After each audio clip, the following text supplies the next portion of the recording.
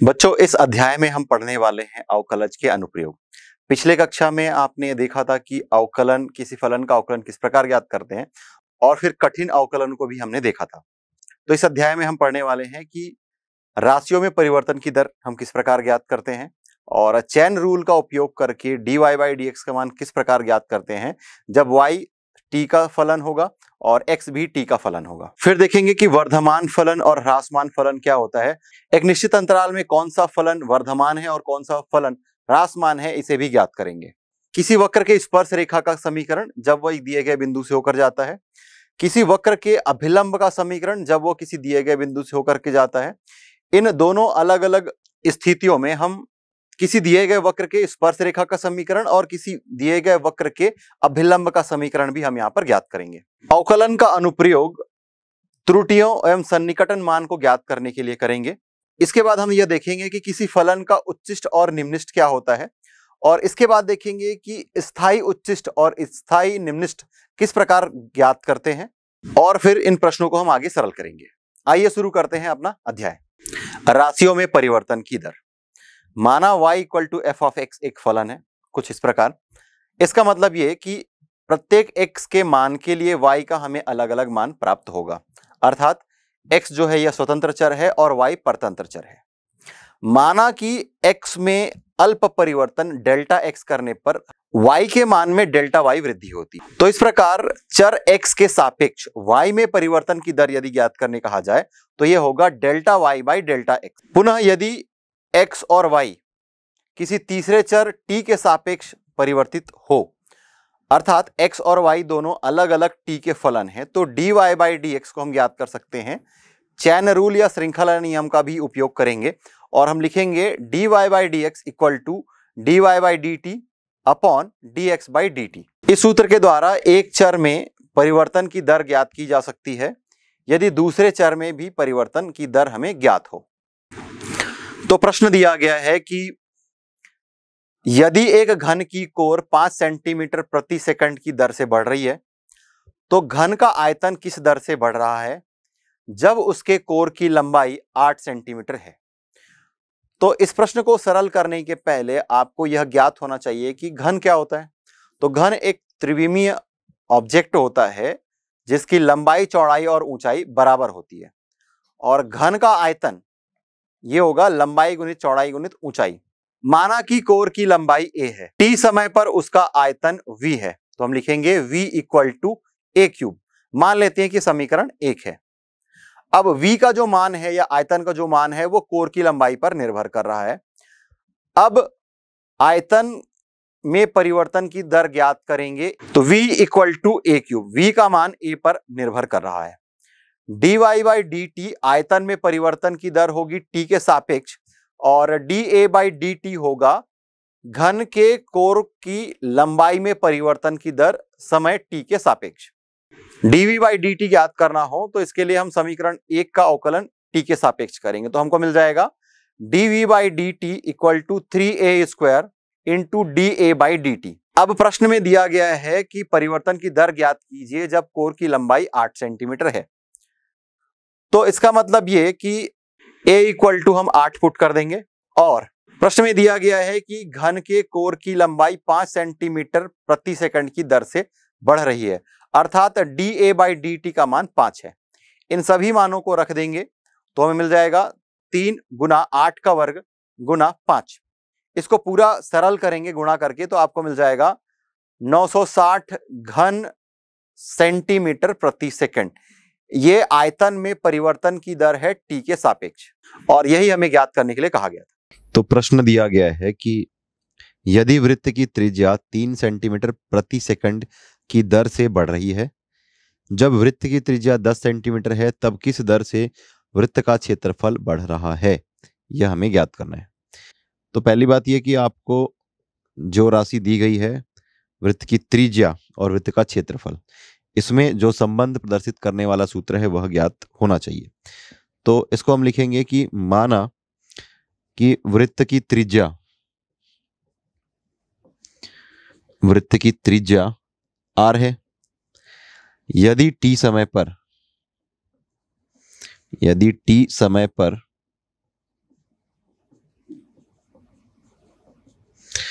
उसका क्षेत्रफल ए हो तो हम क्या लिखेंगे? A equal to pi R square ये वृत्त के क्षेत्रफल का सूत्र है। अब समय टी के साथ वृत्त की त्रिज्या में वृद्धि हो रही है। तो वृत्त की त्रिज्या में वृद्धि की दर, वृद्धि की दर। ये वृत्त की त्रिज्या में वृद्धि की दर किसके सापेक्ष? टी के सापेक्ष। तो ये हो जाएगा D R by D T rate of change निकाल रहे हैं किसका? आर का with respect to time T और ये दिया हुआ है तीन सेंटीमीटर पर सेकेंड अब हमें पूछा है, जब वृत्त की त्रिज्या 10 सेंटीमीटर है, तब किस दर से वृत्त का क्षेत्रफल बढ़ रहा है? तो हम लिखेंगे कि समय टी के साथ वृत्त के क्षेत्रफल में वृद्धि की दर, अर्थात हमें D A by D T ज्ञात करना है। अब एक ही स्थान पर हम पाई आर स्क्वायर रख देते हैं तो मिल जाएगा डी बाई डी टी और फिर ये पाई आर स्क्वायर पाई तो कांस्टेंट है, ये बाहर आ जाएगा। तो ये पाई और फिर D by D T of R square इसको सॉल्व करेंगे तो ये पाई यहाँ से आपको मिल जाएगा टू आर और फिर D R by D T so two pi R और फिर D R by D T D R by D T ये है तीन सेंटीमीटर पर सेकेंड आर की वैल्यू एट टेन सेंटीमीटर ये हमें ज्ञात करना है। तो ये two pi R into three that is six pi R अब हमें जो ज्ञात करना है, वो है वृत्त के क्षेत्रफल में।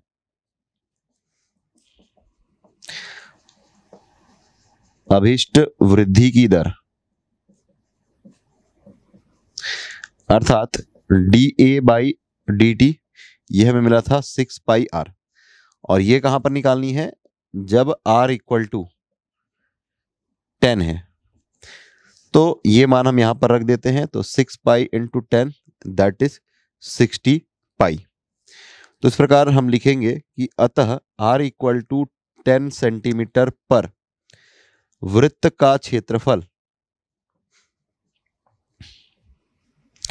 60 पाई वर्ग सेंटीमीटर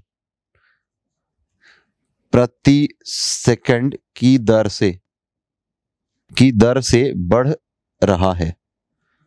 इसमें अगला प्रश्न दिया गया है। एक गुब्बारे की त्रिज्या 10 सेंटीमीटर पर सेकंड की दर से बढ़ रही है। जब गुब्बारे की त्रिज्या 15 सेंटीमीटर है, तब किस दर पर गुब्बारे का सतही क्षेत्रफल बढ़ रहा है? तो इसका मतलब ये कि गुब्बारा तो एक गोला की तरह हो गया तो गोले का सतही क्षेत्रफल, ये आपको ज्ञात होना चाहिए। तो हम पहले एक रिलेशन स्टेब्लिश करेंगे या जो रिलेशन है, सतही क्षेत्रफल और त्रिज्या के बीच में, उसे पहले हम लिखेंगे। और फिर दिए गए राशियों का उपयोग करके अभिष्ट हल तक पहुँचेंगे। तो पहले हम यह मान करके चलते हैं कि माना गुब्बारे की त्रिज्या आर है।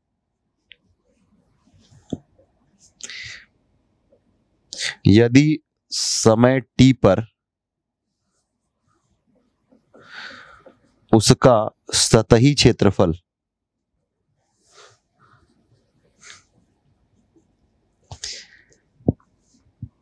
ए हो तो ए इक्वल टू होता है फोर पाई आर स्क्वायर ये गोले के सतह का क्षेत्रफल या फिर पृष्ठ क्षेत्रफल का सूत्र है। अब समय टी के साथ गुब्बारे की त्रिज्या में वृद्धि की दर। हम पहले ज्ञात करेंगे। गुब्बारे की त्रिज्या में वृद्धि की दर। ये क्या होगा? D R by D T गुब्बारे की त्रिज्या अर्थात डी आर और किसके सापेक्ष में? टी के सापेक्ष में। और ये दिया हुआ है 10 सेंटीमीटर पर सेकेंड। ये रेट हमें दिया हुआ है। तो समय के साथ गुब्बारे के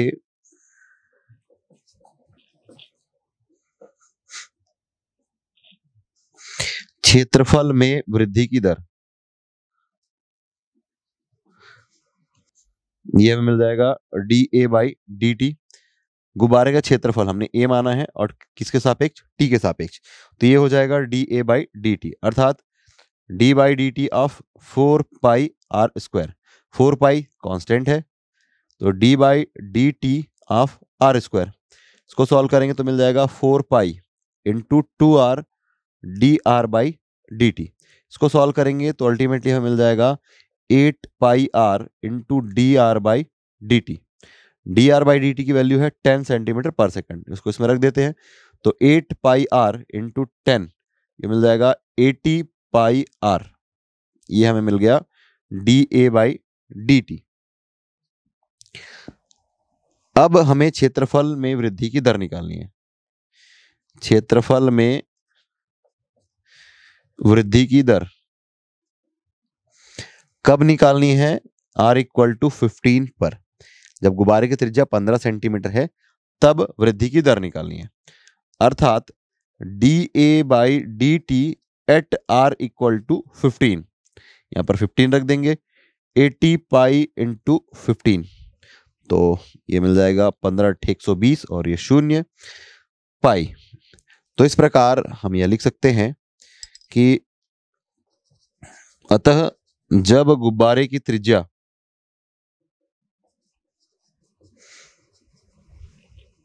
पंद्रह सेंटीमीटर है,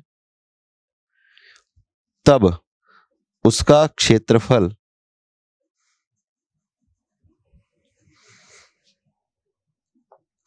बारह सौ पाई वर्ग सेंटीमीटर पर सेकंड की दर से बढ़ रहा है।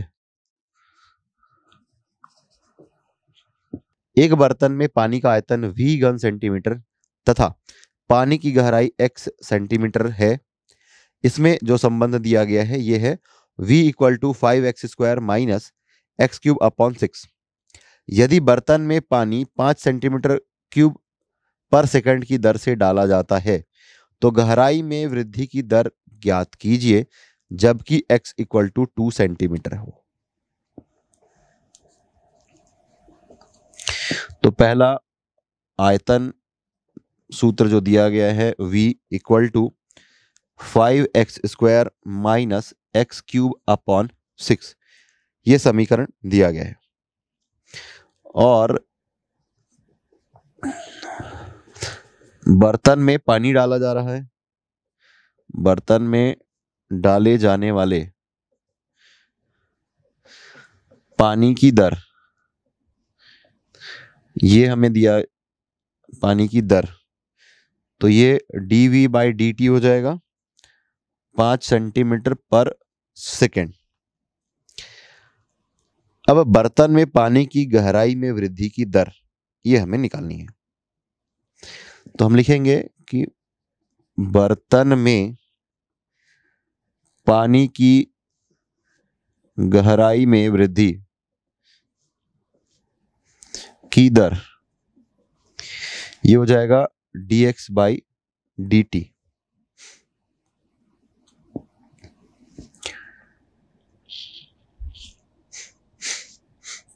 तो हम D V by D T equal to लिख सकते हैं।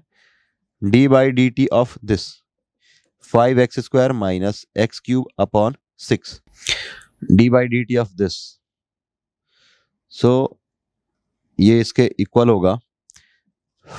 ये हो जाएगा ten X minus three X square upon six into D X by D T D V by D T ये दिया गया है। इसकी वैल्यू हम पुट कर देते हैं पाँच।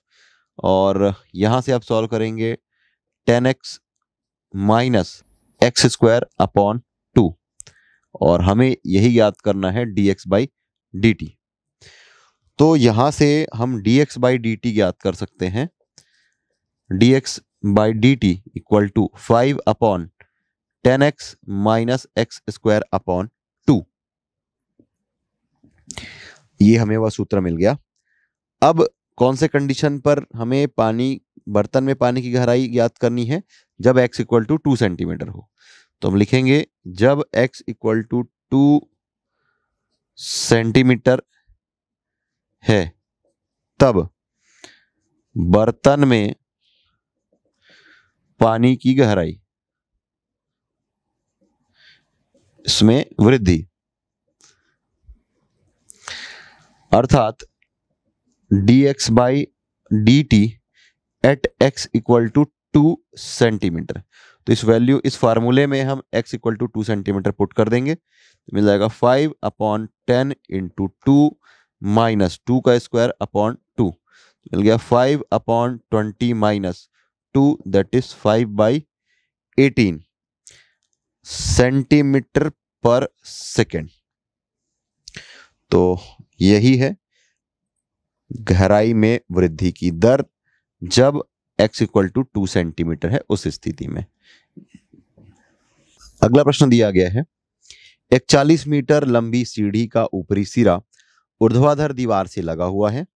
जब निचला सिरा दीवार से 9 मीटर की दूरी पर है तो सीढ़ी 5 मीटर प्रति सेकंड की दर से फिसलने लगती है। उसका ऊपरी सिरा किस दर से नीचे आ रहा है? तो इसके लिए हम एक रफ स्केच बनाएँगे और फिर तो ये मान करके चलते हैं कि ये चित्र कुछ इस प्रकार है, जहाँ पर ओ ए यह दीवार है और इसमें एक सीढ़ी है ओ बी और इसमें एक सीढ़ी है ए बी और ए बी की जो लंबाई है, यह इकचालीस मीटर है। अब हम ये मान करके चलते हैं कि ओ ए का डायरेक्शन में हम वाई फलन को ले रहे हैं। और ओ बी ये हमारा नौ मीटर है। जब निचला सिरा नौ मीटर दूरी पर है, उस स्थिति पर हमें निकालना है।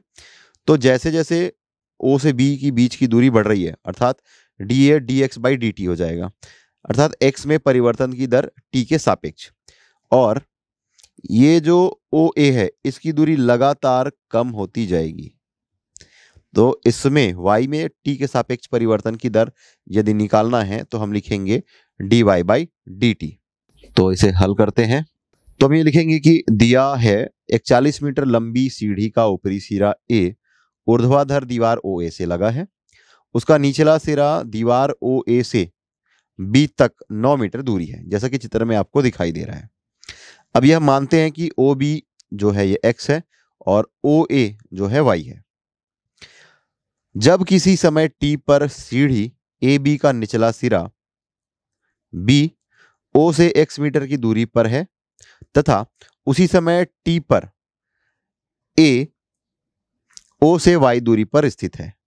तो यहाँ पर हम पाइथागोरस प्रमेय का उपयोग करके लिख सकते हैं कि X square plus Y square equal to forty one का स्क्वायर। मान लेते हैं कि समीकरण एक है। देखिए, ओ से बी ये आधार हो गया, ओ से ए ये लंब हो गया और ए से बी कर्ण हो गया। तो ये X square plus Y square equal to forty one का स्क्वायर अब टी के सापेक्ष अवकलन कर देंगे। टी के सापेक्ष दोनों पक्षों का अवकलन करेंगे। दोनों पक्षों का अवकलन करने पर। टी के सापेक्ष करेंगे तो ये मिल जाएगा two X D X by D T यह मिल जाएगा two Y D Y by D T और राइट हैंड साइड में कांस्टेंट है। तो ये हमें मिल जाएगा ज़ीरो। दोनों पक्षों, दोनों पदों पर दो जो है ये उभयनिष्ठ है तो x D X by D T plus Y D Y by D T equal to zero मान लेते हैं कि ये समीकरण दो है। अब प्रश्न में जो दिया गया था कि सीढ़ी के एक सिरा है बी यह ओ से दूर जा रहा है तो बी को ओ से दूर जाने की दर तो ओ से बी यहाँ पर एक्स है तो एक्स के सापेक्ष एक्स में टी के सापेक्ष क्या परिवर्तन हो रहा है? तो D X by D T ये है पाँच मीटर पर सेकंड। ये राशि हमें दिया गया है।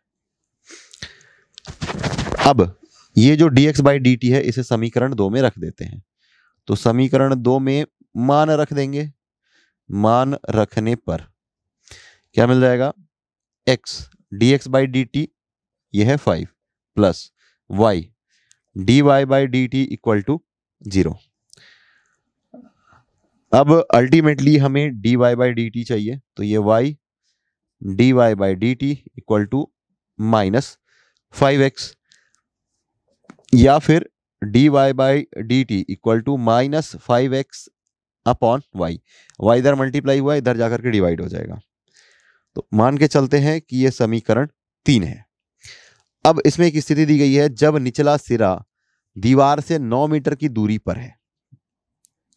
अर्थात, अब जो चीज़ें दी गई है, उसे देखते हैं, जब x इक्वल टू नौ मीटर है, तब हम समीकरण एक में देखते हैं। समीकरण एक x इक्वल टू नौ यहाँ पर रख देते हैं तो मिल जाएगा नौ का वर्ग धन वाई का वर्ग बराबर इकचालीस का वर्ग।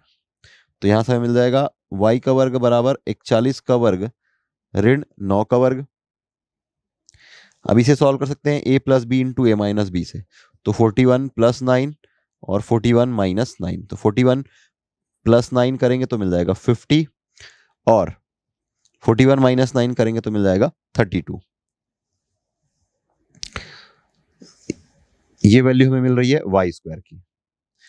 सो so, वाई की अगर वैल्यू निकालनी हो तो हमें मिल जाएगा plus minus fifty into thirty two और इसे हम लिख सकते हैं पचास को लिखा जा सकता है टू इंटू ट्वेंटी फाइव और इसको लिख सकते हैं sixteen into two thirty two को।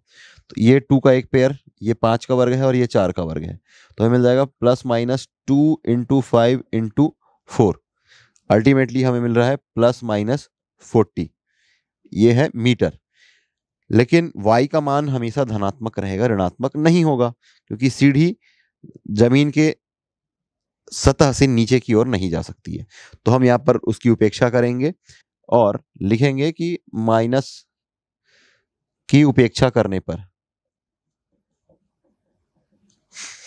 माइनस साइन की जब उपेक्षा करेंगे तो हमें y इक्वल टू मिल जाएगा 40 मीटर। मान लेते हैं कि यह समीकरण चार है। सीढ़ी के ऊपरी सिरा जो ए है, वो नीचे की ओर आ रहा है। सीढ़ी के ऊपरी सिरा ए के नीचे आने की दर।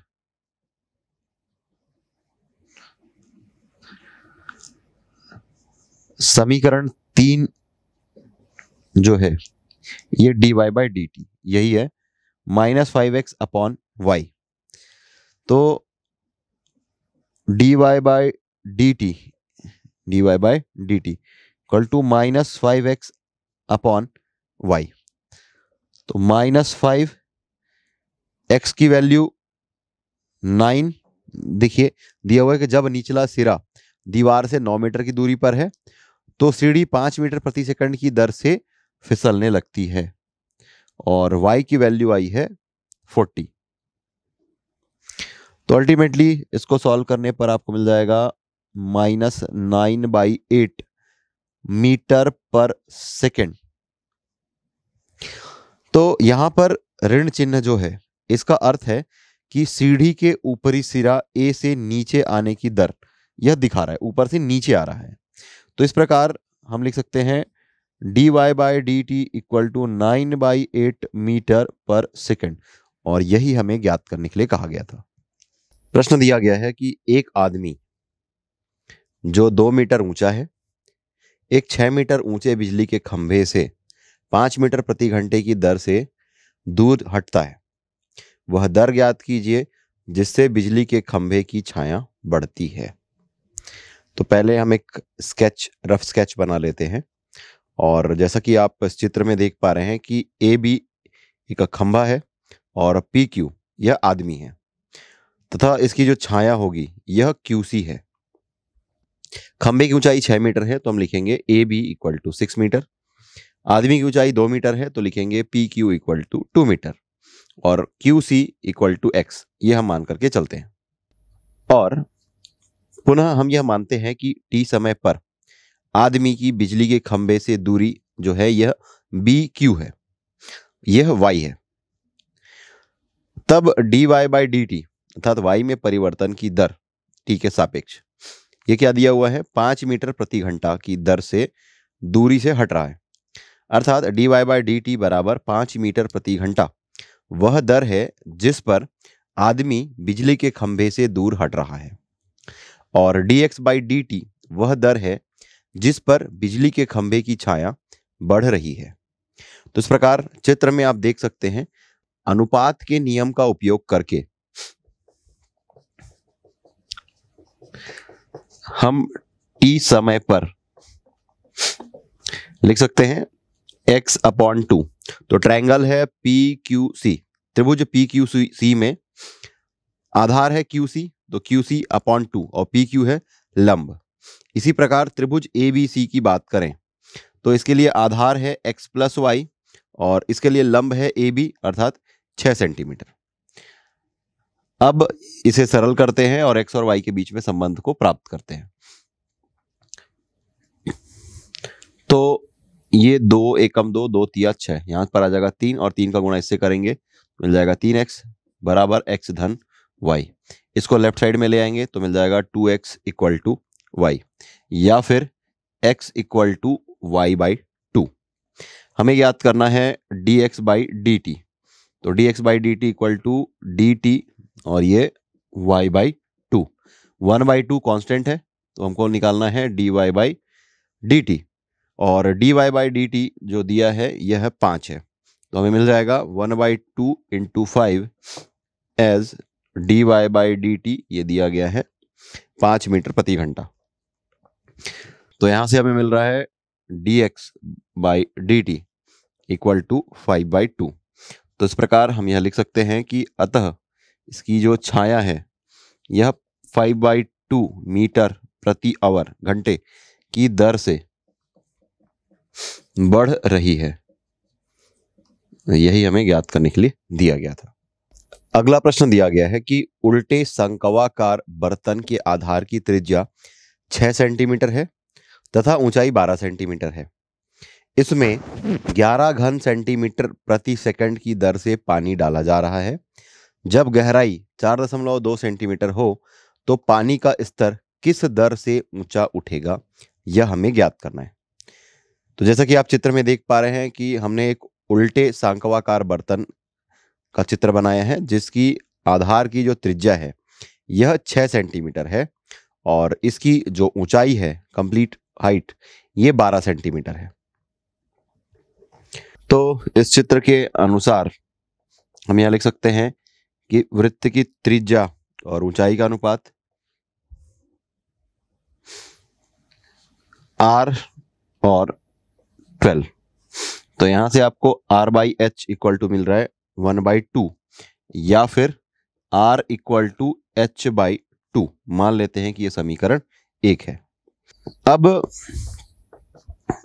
टी समय पर शंकु में पानी के तल की त्रिज्या आर तथा ऊंचाई एच है। टी समय में जब पानी उसमें कुछ भर जाता है तो वहाँ पर जो तल बन रहा है पानी के द्वारा, उसकी त्रिज्या आर है और इसकी जो ऊंचाई है, यह एच है। तो इसलिए इसका जो आयतन है, इसे हम लिखेंगे समय टी में पानी का आयतन।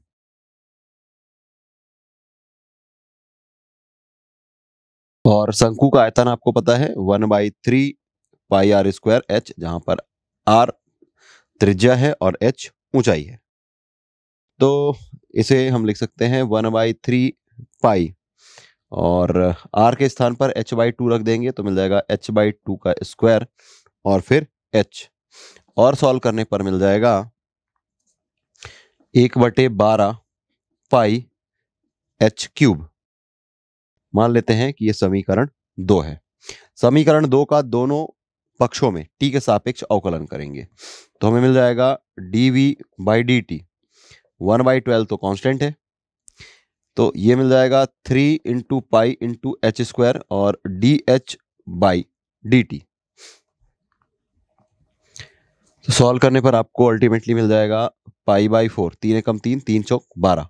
और ये पाई और फिर एच स्क्वायर और फिर D H by D T मान लेते हैं कि ये समीकरण तीन है। अब प्रश्न में दिया गया है,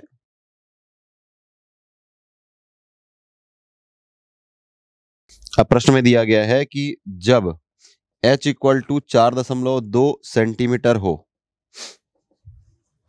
तो D V by D T ये दिया हुआ है। इसमें 11 घन सेंटीमीटर पर सेकंड की दर से पानी डाला जा रहा है। तो D V by D T equal to मिल जाएगा 11 घन सेंटीमीटर प्रति सेकंड की दर से पानी डाला जा रहा है।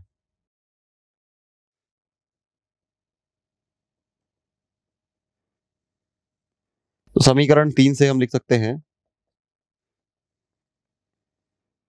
D v by d t equal to pi by four. H के स्थान पर हम रखेंगे four by two four point two का स्क्वायर और d h by d t तो इसे हम d h by d t रहने देते हैं।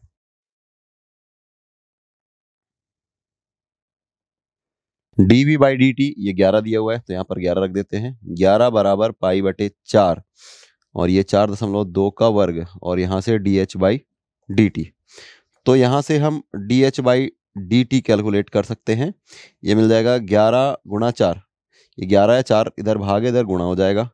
और चार दशमलव दो गुना चार दशमलव दो। चार दशमलव दो का यहाँ पर गुणा में है, इस तरफ़ ये भाग में आ जाएगा। और पाई तो पाई के वैल्यू हम बाईस बटे सात, यह रख देते हैं। अब बाईस बटे सात है तो ये सात बटे बाईस हो जाएगा इधर जाकर के। ये सात बटे अब इसे जब आप सॉल्व करेंगे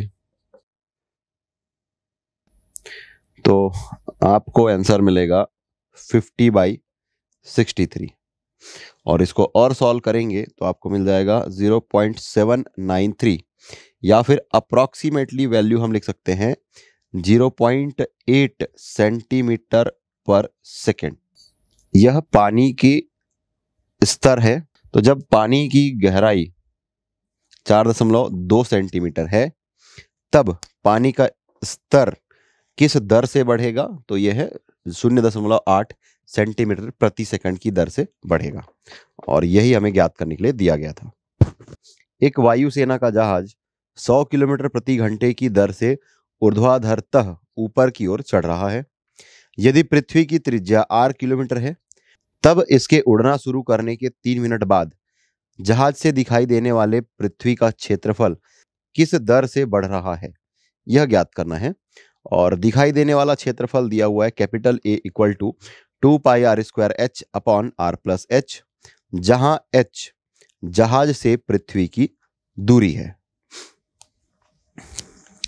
तो यहाँ पर बात की जा रही है कि एक जहाज़ जो है वो ऊर्ध्वाधरतः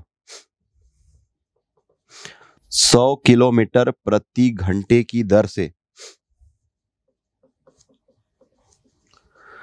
ऊर्ध्वाधरतः ऊपर की ओर चढ़ रहा है। तो इसलिए हम प्रश्न में दिया गया है कि तीन मिनट बाद तो तीन मिनट बाद जहाज़ की ऊंचाई। तीन मिनट बाद जहाज़ की ऊंचाई निकालनी हो तो इसकी स्पीड है सौ किलोमीटर प्रति घंटा। ये, और कितने मिनट बाद? तीन मिनट बाद। तो इसे सॉल्व करने पर आएगा पाँच किलोमीटर तो इसकी जहाज़ की ऊंचाई। अब प्रश्न में ही दिया गया हिंट में कि दिखाई देने वाला क्षेत्रफल दिखाई देने वाला पृथ्वी का क्षेत्रफल।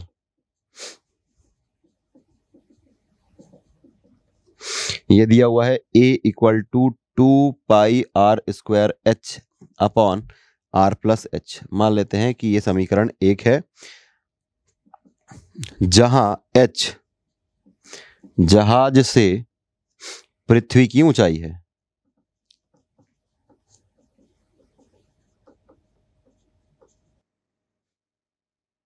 अब समीकरण एक का टी के सापेक्ष अवकलन करेंगे तो हमें मिल जाएगा d a by d t two pi r square. ये तो कांस्टेंट है। अब d by d t h upon r plus h दो फलनों का भागफल है और उसका हमें अवकलन करना है। तो ये है टू पाई आर स्क्वायर। देखिए, एच और टी का डायरेक्ट कोई रिलेशन हमें नहीं दिया गया है, लेकिन हम इसे इस प्रकार लिख सकते हैं d by d h of h by r plus h और d h by d t यहाँ पर हमने डी एच मल्टीप्लाई किया और डी एच डिवाइड किया।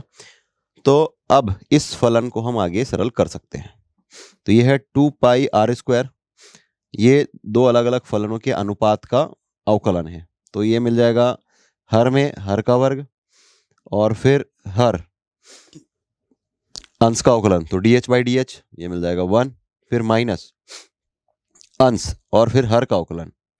तो d by d h of r plus h और ये d h by d t यहाँ से। आगे सॉल्व करते हैं। टू पाई आर स्क्वायर ये है आर प्लस एच एच के रिस्पेक्ट में आर जो है, ये कांस्टेंट है।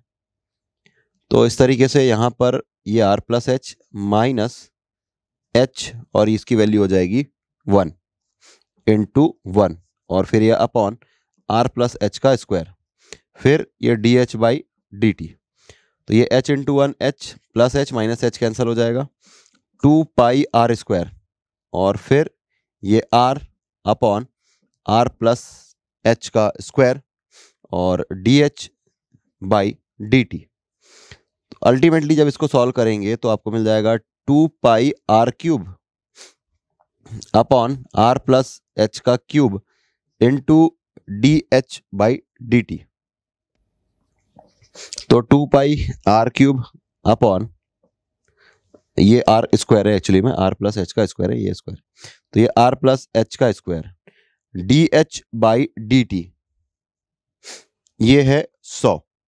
क्योंकि जहाज़ की पृथ्वी से दूरी बढ़ने की दर, ये क्या दिया हुआ है? सौ किलोमीटर प्रति घंटा। तो इस वजह से ये d h by d t जो होगा, ये हम लिखेंगे सौ किलोमीटर प्रति घंटा। ये हमने यहाँ पर हंड्रेड पुट कर दिया। अब इसको सॉल्व करने पर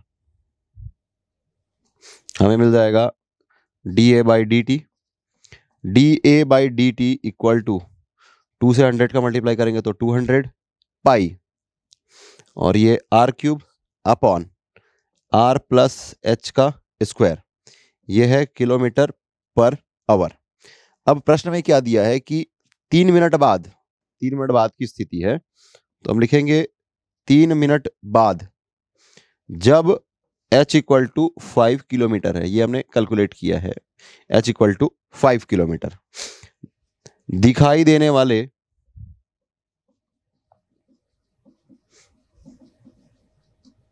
क्षेत्रफल के बढ़ने की दर। यही d a by d t कहाँ पर? H इक्वल टू फाइव पर। तो वैल्यू पुट कर देंगे two hundred pi r cube upon r plus five का स्क्वायर और ये है किलोमीटर स्क्वायर प्रति आवर। और यही वह उत्तर है जो कि हमें ज्ञात करने के लिए दिया गया था। वर्धमान फलन या फिर इंक्रीजिंग फ़ंक्शन तो चित्र में आप कुछ इस प्रकार देख सकते हैं कि y equal to f of x एक फलन है। और इस ग्राफ में x के सापेक्ष y का जो मान है जैसे जैसे x का मान बढ़ता जा रहा है वैसे वैसे y का मान भी बढ़ता जा रहा है। तो आप यह देख पा रहे हैं कि ग्राफ जो है हमेशा ऊपर की ओर बढ़ रहा है। किसी भी बिंदु पर ना तो ये नीचे की ओर गया या ना ही यह कांस्टेंट है या अचर है। हमेशा इसका मान जो है क्रमशः बढ़ते गया है। तो इस प्रकार का जो फलन है, इसे हम वर्धमान फलन कहते हैं। तो जैसा कि आप चित्र में देख पा रहे हैं कि एक्स और वाई अक्ष के बीच में हमारा एक फलन दिया गया है। और ये जो वक्र है y equal to f of x वहाँ पर हमने x अक्ष में चार अलग अलग बिंदु दे रखे हैं। A, बी सी और डी तो देखिए कि ए और बी के बीच में जो फलन का मान है वह निरंतर बढ़ रहा है। उसी प्रकार सी से डी के बीच में भी फलन का मान निरंतर बढ़ रहा है। लेकिन बी से सी के बीच में जो फलन है वह पहले अपने उच्च मानों को प्राप्त कर रहा है फिर नीचे की ओर भी जा रहा है। तो इस प्रकार ए से बी के अंतराल में जो फलन है यह वस्तुतः वर्धमान है। और सी से डी अंतराल के बीच में भी यह फलन जो है, वस्तुतः वर्धमान है। और पूरे अंतराल में ए से लेकर के डी के बीच में फलन वर्धमान है। वर्धमान फलन या इंक्रीजिंग फ़ंक्शंस एक फलन एफ़ ऑफ़ एक्स वर्धमान कहलाता है। यदि अंतराल आई में एक्स के बढ़ते मानों के संगत इसका मान बढ़ते हुए हो, जिसमें एफ़ ऑफ़ एक्स परिभाषित हो और एफ़ ऑफ़ एक्स का मान कभी भी नहीं घटता है। अर्थात, हम लिख सकते हैं x1 is less than x2 that implies f of x1 is less than or equal to f of x2 for all x1 x2 belongs to i अर्थात x1 और x2 जो है, वो इंटरवल आई के कोई एक एलिमेंट्स हैं। फलन एफ़ ऑफ़ एक्स अंतराल आई में वस्तुतः वर्धमान फलन कहलाता है। यदि एक्स के बढ़ते मानों के संगत एफ़ ऑफ़ एक्स भी बढ़ते हुए हो। वस्तुतः वर्धमान फलन को हम स्ट्रिक्टली इंक्रीजिंग फ़ंक्शन भी कहते हैं। अर्थात x1 is less then x2 है तो यह इंप्लाई करेगा f of x one is less than f of x two for all x1 x2 belongs to capital I तो जैसा कि आप ग्राफ में देख पा रहे हैं कि एक्स और वाई दो अक्ष हैं और यहाँ पर एक कर्व बना हुआ है। कर्व पर चार बिंदु ए बी सी डी क्रमशः इस प्रकार लिया गया है और ये function y equal to f of x है। ए से यदि हम x अक्ष पर लंब खींचते हैं तो स्मॉल a बिंदु है। उसी प्रकार b से स्मॉल b, c से स्मॉल c और d से स्मॉल d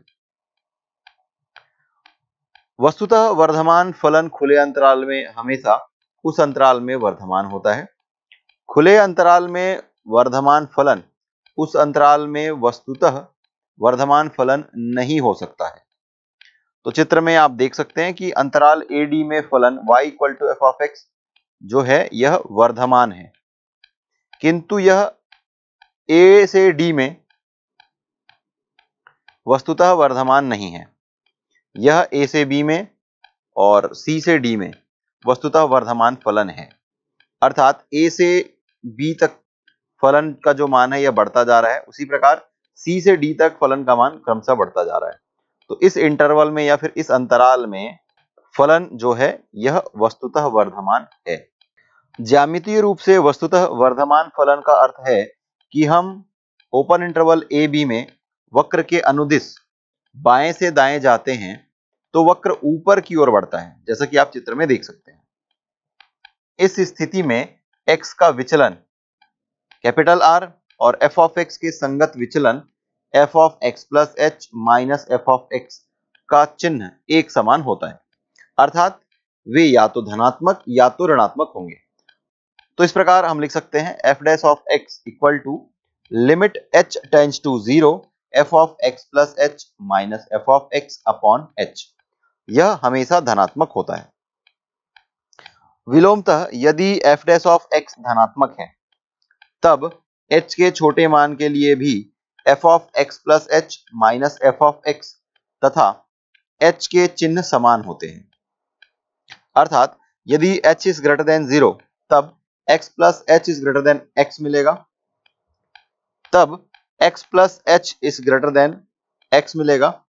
तो इससे हमें मिल जाएगा, अगर दोनों पक्षों में हम फलन लगा दें एफ़ ऑफ़ तो f of x plus h is greater than f of x तथा h is less than zero होगी। तब x plus h is less than x that implies f of x plus h is less than f of x इससे यह स्पष्ट है कि f of x x का वर्धमान फलन है। दूसरे रूप में चित्र से यह स्पष्ट है कि f of x open interval a b में वर्धमान फलन है। तब वक्र y equal to f of x के किसी बिंदु पर खींची गई स्पर्श रेखा x की धन दिशा के साथ न्यून कोण बनाती है। इसलिए tan theta is greater than zero that implies dy by dx is greater than zero या फिर f dash of x is greater than 0 for all x belongs to open interval a b ह्रासमान फलन या फिर decreasing function आप graph को देख करके ये समझ सकते हैं कि कौन सा फलन वर्धमान है और कौन सा फलन ह्रासमान है। X और y एक्स के बीच में यदि हम कोई एक ग्राफ लें या एक फलन लें y equal to f of x यदि ग्राफ के मान में निरंतर कमी होती जा रही है या फिर वो नीचे की ओर बढ़ता जा रहा है तो ऐसे फलन को हम ह्रासमान फलन कहते हैं। चित्र में आप देख सकते हैं कि y equal to f of x एक फलन है और x अक्ष पर हमने चार बिंदु ले रखे हैं a, b, c और d उसी के सापेक्ष y वक्र पर capital A capital B capital C और कैपिटल डी क्रमशः बिंदुएँ हैं। तो देखिए कि ए से बी तक जो है वक्र का मान निरंतर नीचे की ओर आ रहा है। उसी प्रकार सी से डी अंतराल में भी फलन जो है वह निम्न मानों को प्राप्त कर रहा है। तो इस प्रकार ए से बी में और सी से डी में यह जो फलन है, यह वस्तुतः ह्रासमान है। लेकिन यदि पूरे अंतराल की बात की जाए ए से डी की बात की जाए तो जो फलन है, यह ह्रासमान है। ह्रासमान फलन या डिक्रीजिंग फ़ंक्शन एक फलन एफ़ ऑफ़ एक्स ह्रासमान फलन कहलाता है यदि अंतराल आई में एक्स के बढ़ते मान के संगत जो कि परिभाषित हो, y का मान कभी भी बढ़ते हुए नहीं होता है। अर्थात x x1 is less than x2 that implies f of x1 is greater than or equal to f of x2 for all x1 x2 belongs to i. अर्थात x1 का मान x2 के मान से छोटा है। और जब इसे फ़ंक्शन में अप्लाई करते हैं तो f of x1 का जो मान होता है, यह बड़ा हो जाता है या बराबर होता है f of x2 के, जहाँ पर x1 और x2 अंतराल के अवयव हैं। फलन f ऑफ़ x अंतराल i में वस्तुतः ह्रासमान कहलाता है। यदि x के बढ़ते मान के संगत f ऑफ़ एक्स का मान हमेशा घटते हुए होता है। वस्तुतः ह्रासमान को हम स्ट्रिक्टली डिक्रीजिंग फ़ंक्शन भी कहते हैं, अर्थात उस अंतराल में फलन का मान हमेशा घटते हुए दिखाई देगा। तो इसे मैथमेटिकली हम लिख सकते हैं x1 is less than x2 that implies f of x1 is greater than f of x2 वस्तुतः ह्रासमान फलन खुले अंतराल में हमेशा उस अंतराल में घटते हुए होता है। खुले अंतराल में ह्रासमान फलन, उस अंतराल में वस्तुतः ह्रासमान फलन नहीं हो सकता। तो जैसा कि आप चित्र में देख सकते हैं कि ओपन इंटरवल ए से डी में जो फलन है y equal to f of x ये ह्रासमान फलन है। किंतु a से d जो ओपन इंटरवल है, इसमें वस्तुतः ह्रासमान नहीं है, क्योंकि b से c इंटरवल के बीच में फ़ंक्शन जो है यह इंक्रीज कर रहा है। किंतु a open interval a d में वस्तुतः ह्रासमान नहीं है। यह ओपन इंटरवल ए बी और ओपन इंटरवल सी डी में वस्तुतः ह्रासमान है। अर्थात ओपन इंटरवल ए से बी में देखिए, फलन का मान नीचे गिरता हुआ है। उसी प्रकार सी से डी में भी फलन का जो मान है, वो क्रमशः गिरता हुआ आपको दिखाई दे रहा है। तो ज्यामितीय रूप में वस्तुतः ह्रासमान फलन का अर्थ यह है कि ओपन इंटरवल ए बी में वक्र के अनुदिश बाएँ से दाएँ जाते हैं तो वक्र गिरता है। इस स्थिति में x का विचलन, h के संगत f ऑफ़ x का विचलन, f of x plus h minus f of x का चिन्ह विपरीत होता है। इस प्रकार है कि f dash of x equal to limit h tends to zero f of x plus h minus f of x upon h हमेशा ऋणात्मक होता है। विलोमतः यदि एफ़ डैश ऑफ़ एक्स ऋणात्मक है, तब हम सर्वप्रथम यह सिद्ध करेंगे कि एफ़ ऑफ़ एक्स एक्स का ह्रासमान फलन है। दूसरे तरीके से हम यह देख सकते हैं, या चित्र से स्पष्ट है कि अंतराल ए से बी में फलन जो है, यह ह्रासमान है। तब वक्र y equal to f of x के किसी बिंदु पर खींची गई स्पर्श रेखा x की धन दिशा के साथ अधिक कोण बनाती है। तो इस प्रकार हम लिख सकते हैं tan theta is less than zero that implies d y by d x is less than zero that implies f dash of x is less than 0 for all x belongs to open interval a b. तो इससे कुछ conclusion निकल करके बाहर आते हैं, जो कि कुछ इस प्रकार है। एक फलन एफ़ ऑफ़ एक्स अंतराल या ओपन इंटरवल ए बी में एक दिष्ट कहलाता है, यदि या तो वर्धमान हो या तो ह्रासमान।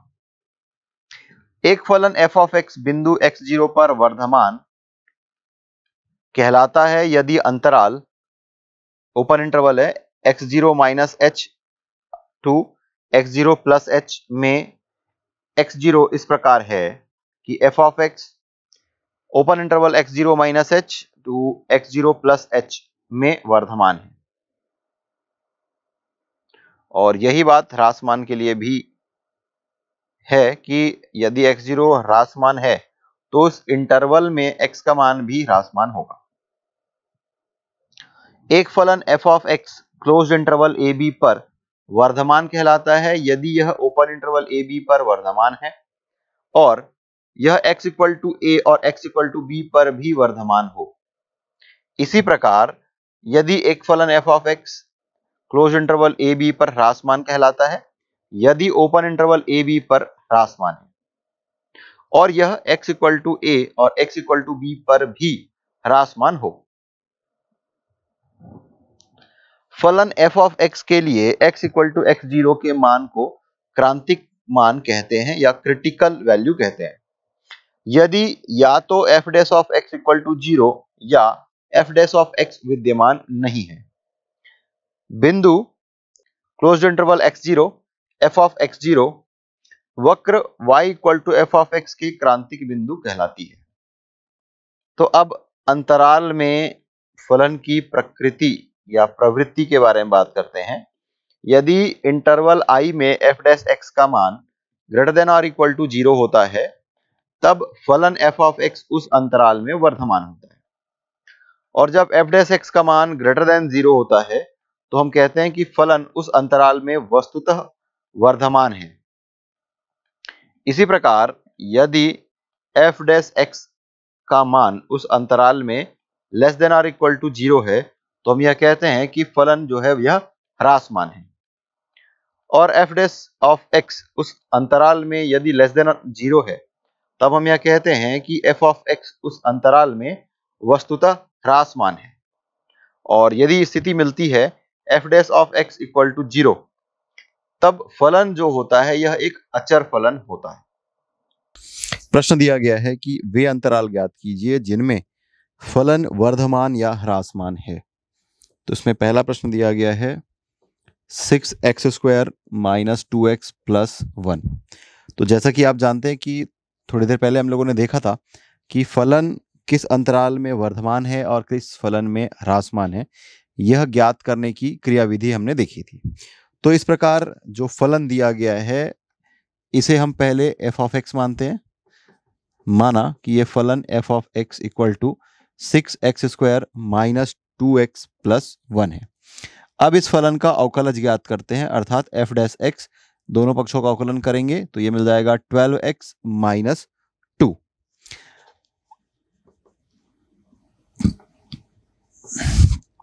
अब फलन जो है, एफ़ ऑफ़ एक्स के वर्धमान होने के लिए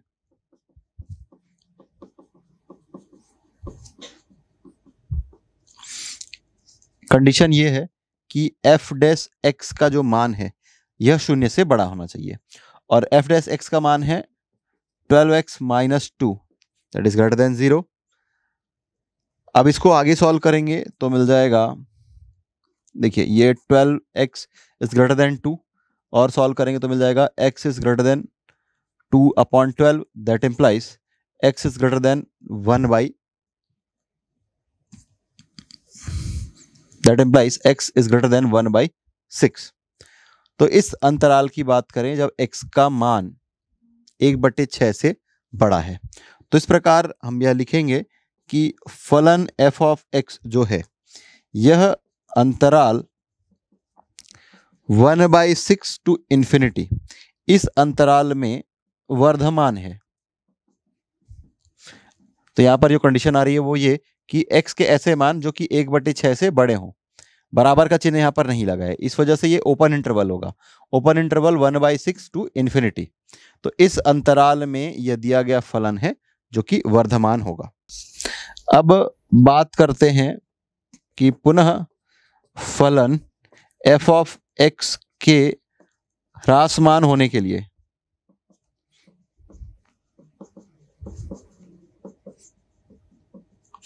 f dash of x is less than zero ये वाली कंडीशन आती है। अगेन यहाँ पर ये वाली कंडीशन है ग्रेटर देन अब लेस देन के लिए हम सॉल्व करेंगे। तो twelve x minus two is less than zero तो अल्टीमेटली जब सॉल्व करेंगे तो आपको मिल जाएगा x is less than one by six यहाँ पर ग्रेटर देन सिक्स आया था वन बाई सिक्स आया था तो यहाँ पर x is less than one by six आएगा। अर्थात x के ऐसे मान जो कि एक बटे छः से छोटे हैं। तो इसका मतलब ये कि अंतराल जो होगा वो minus infinity to one by six होगा। तो इस प्रकार हम लिखेंगे कि फलन एफ़ ऑफ़ एक्स अंतराल minus infinity to one by six में ह्रासमान है या फिर ह्रासमान फलन है। तो ये अंतराल हमें मिल गया माइ तो हमें ये अंतराल मिल गया one by six to infinity इसमें फलन जो है, ये वर्धमान है या इंक्रीमेंटल है। और minus infinity to one by six इसमें ह्रासमान है या फिर डिक्रीमेंटल है?